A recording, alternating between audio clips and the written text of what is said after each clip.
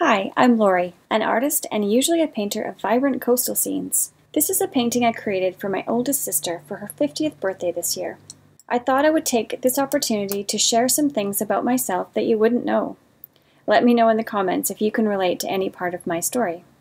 First, I was almost born in a Volkswagen Bug. Specifically, this one that I'm painting. It belonged to my grandmother on my mother's side.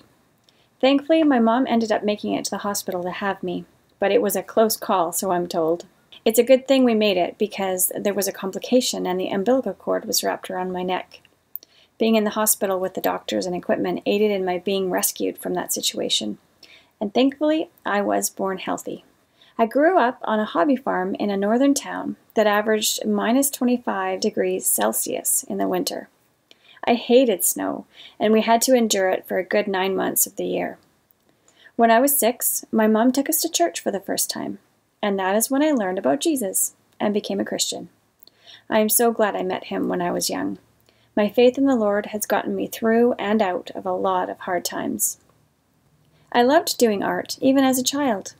We didn't have extra money or art supplies, so I would make my own. I created 3D landscapes inside little earring boxes that I found. I would make bunny rabbit scenes with buds from pussy willows and decorate it with bits of grass and tiny wildflowers. I was always the first to ask for a Christmas tree when I was a kid, so I could help to decorate.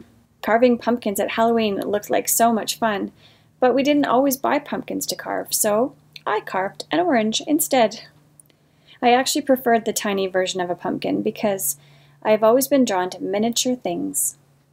I always wanted to build a gingerbread house, but I didn't have the ingredients for that, so I decided to use graham crackers and make mini ones. These ideas came to me far before Pinterest was a thing. I didn't mind not having art supplies because it taught me to use ingenuity to be creative.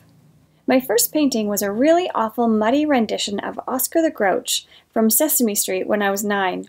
It turned out so badly, it shook my dream that I would someday be an artist, and it prevented me from trying painting again for many years. And here's something you might not guess I didn't start painting until about seven years ago, when I was 41. But when I did it, it didn't take me long to figure it out. I guess it was in me after all.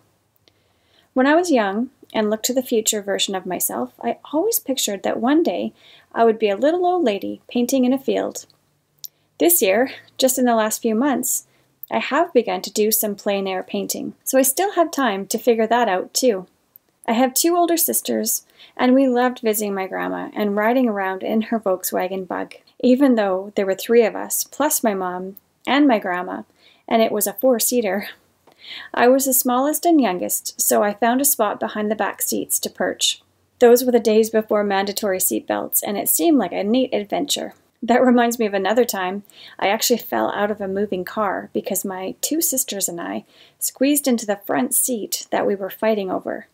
My mom, not knowing the door wasn't properly shut, drove around a corner and I fell out onto the street. Thankfully, I wasn't hurt at all, but it was a busy intersection and my mom was really shaken up.